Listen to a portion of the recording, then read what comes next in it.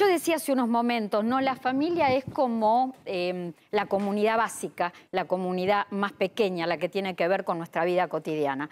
A veces hay desacuerdos o a veces hay que llevar adelante acuerdos y muchas veces nos preguntan, eh, ¿cómo hago para reclamar una cuota alimentaria? ¿Cómo hago para reclamar una pensión porque eh, tengo la tutela de un hijo víctima de violencia de género? La unión convivencial tiene la misma validez, el mismo grado de concurrencia ante la ley que las eh, uniones matrimoniales. Bueno, para eso existe el abogado de familia y para eso lo hemos convocado a Matías Aquino. Gracias nuevamente por acompañarnos. A ustedes. Eh, Matías, el, el abogado de familia es una especie de mediador, de negociador a la hora de estar en desacuerdos o a la hora de ponerse de acuerdo en cuestiones que tienen que ver estrictamente con el seno familiar? Mira, en un punto sí, Clara, porque, a ver, no tenemos que perder de vista que la familia, como vos decías, es el seno más íntimo ¿sí? y la comunidad social más chica de un Estado. Entonces, cuando hay problemas en el seno familiar, se tienen que poder resolver a través de, o bien, una acción dentro de la justicia o por afuera en un acuerdo extrajudicial. En esos ámbitos puedes tener un abogado de familia. Obviamente en el seno de la justicia es muy simple, se inicia la acción correspondiente, pero en el extrajudicial es donde entran otras variantes. ¿sí? Vos podés sentar a las partes, siempre teniendo en cuenta que son aspectos de extrema delicadeza, porque siempre que una familia entra en conflicto, más cuando pueden ser conflictos eh, de índole económico, ¿sí? o por violencia, por ejemplo, siempre es muy conflictivo. Entonces la familia siempre está muy vulnerable en Ahora, esos momentos. Vos sabés, Matías, que mm, te quiero preguntar cuáles son los casos más comunes o las consultas más comunes que vos recibís. Nosotros, por ejemplo, en lo justo y necesario, a través de nuestras redes, lo más común es que nos escriban preguntándonos acerca de cuotas alimentarias, cuotas alimentarias por embargo, que a veces eh, no te dan derecho o, dudas de un derecho cuando, por ejemplo, se implementó el IFIO, cuando hay bonos o cuando hay refuerzos. Eh, un abogado de familia, ¿cuál es la consulta más recurrente que recibe permanentemente? Principalmente es divorcios y sus derivados. Uno de ellos es justamente la acción de alimentos y la comunicación con los hijos, ¿sí? que son justamente los dos factores elementales frente, por ejemplo, a la concurrencia de un divorcio. El alimento es muy particular, no hay que olvidarse que lo pueden reclamar los hijos hacia los padres, los hijos hacia los abuelos, ¿sí? un cónyuge contra el otro, ¿sí? y por ejemplo también los padres respecto de los hijos, también en un momento de la vida. A ver, em, por ejemplo, vos decías cuota alimentaria inclusive entre la pareja.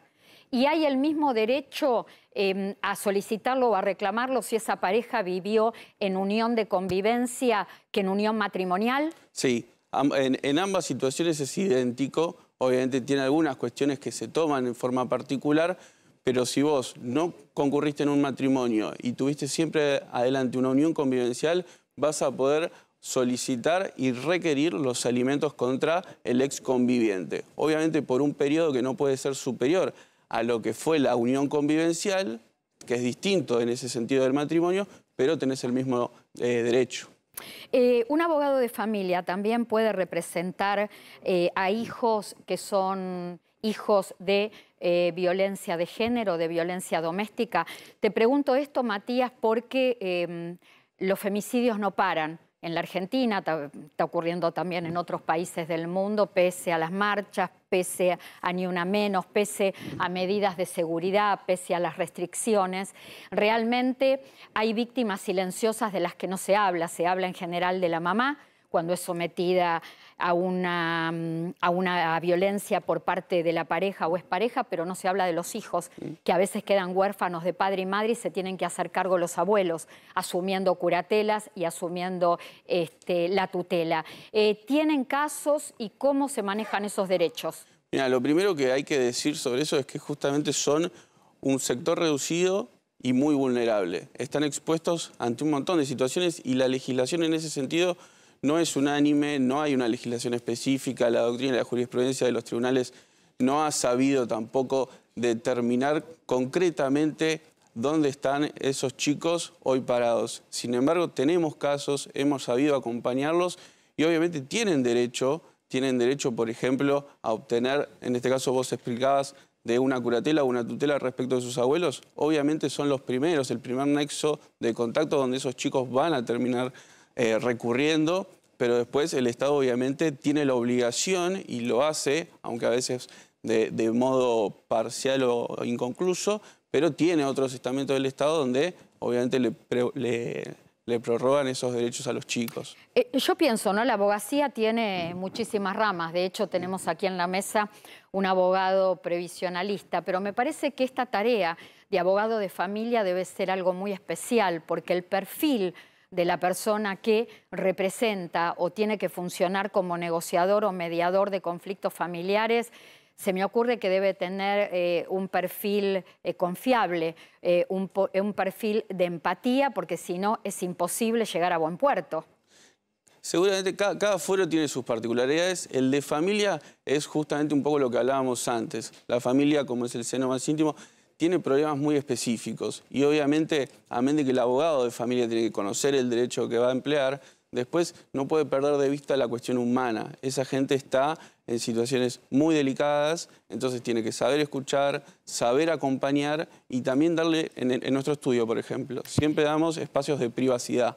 Aquí, quiere participar, hacer una pregunta, hacerte una pregunta Damián Dipache. Sí, mi pregunta, Matías, es la siguiente. ¿Qué, ¿Cuál es la diferencia entre yo casarme, efectivamente me estoy casando con otra persona, y, digamos, eh, tengo una unión convivencial. ¿Cuáles son los derechos y los deberes que asumen las dos partes en cada una de esas dos situaciones? Mira, está bueno. Eh, obviamente son varias las diferencias, ¿sí? Obviamente son regímenes diferentes, legalmente hablándolo, ¿sí? Y justamente el matrimonio da derechos y obligaciones que son más amplios mm.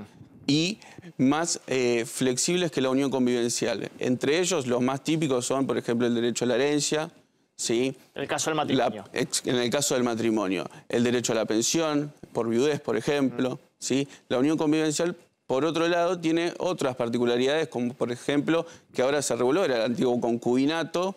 ¿sí? Para hacerlo necesitas por lo menos dos años de haber podido llevar adelante esa unión convivencial, lo tenés que probar, tenés que registrarlo. Muy, parecido, yo estoy pensando, te escucho atentamente y lo debe estar pensando también Adrián, muy parecido a lo que establece la ley previsional en cuestión de, convivencia, porque lo que ha logrado, previsionalmente hemos crecido en esto, hemos evolucionado, esto de que hoy un concubino o una concubina tienen los mismos derechos, el mismo grado de concurrencia que si hubieran estado en un matrimonio. La ley previsional... Eh, en un matrimonio con papeles, porque estuvieron en un matrimonio. La ley previsional desde, desde casi siempre eh, equiparó la, convivencia al matrimonio. Esto no quiero decir pionero, pero digamos fue una de las puntas que de hecho se trasladó a obras sociales em, bastante recientemente respecto de, y después eh, respecto de lo que era el derecho a pensión, el, más básico de todos. Y, recién como te escuchaba, Matías, eh, es, común el tema de los, de que los convivientes, como no pueden heredar, tengan que terminar haciendo eh, un testamento. Digo, este, este esta es, quizás eh, el parche más, más común que hagan entre ellos para cubrir eh, lo que hoy en la ley es el, matrimonio, pero están cada vez más cerca. Es así, la idea justamente es llevar adelante, justamente la legislación va avanzando tal cual como bien decías, se va ayornando en definitiva al contexto social histórico. Bien decías, el testamento es uno, la donación es otra. Obviamente todo eso en la medida de que la ley lo permita, porque sabemos que es un tercio del patrimonio pero sí la, idea es que la legislación se vaya cada vez más acercando y emparentando lo que es el matrimonio con la unión convivencial. Ahí está. A mí lo que me parece que en eso Argentina está avanzando mucho este tema, porque también lo que tenemos que tener en cuenta es que la gente cada vez se casa menos. cada vez hay más parejas este, que deciden por la convivencia y no pasar por el registro civil. Y de esa unión muchas veces nacen hijos. Y a mí me parece que está bien que en la Argentina el conviviente eh, y la esposa o el esposo tengan los mismos derechos y los hijos que nacen de esa unión no sean considerados para la ley si sus padres pasaron por el registro civil, son hijos de primera y si decidieron unir sus vidas a través de una unión de hecho, sean hijos de segunda.